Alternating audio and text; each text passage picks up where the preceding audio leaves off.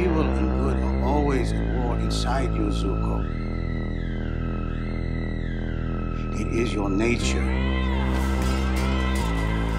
your legacy.